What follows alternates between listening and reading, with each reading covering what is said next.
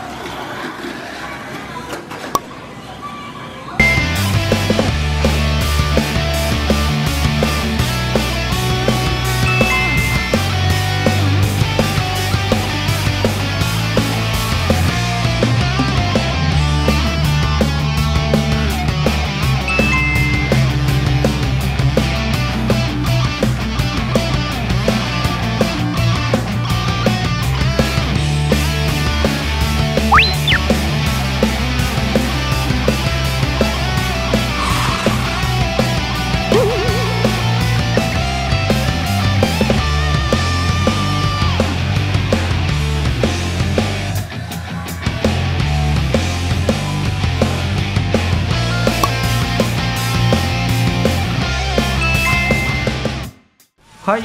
ということで月1500円ミニ四駆10ヶ月目の走行でしたがまあ普通に考えてあのコースセクション無理だよ。2段スロープの対策としましてはフロントブレーキをこんな風にバンパーに巻いてあげてどうにかして減速する。これが有効なんじゃないかな。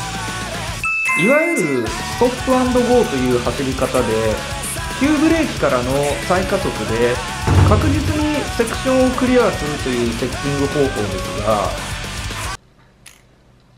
ただそれをやったことによってモーター死にました。もう少し走行も見たかったけどモーターがないんじゃ来月まで走れないな。ボディもボディでなんとか補強したけど。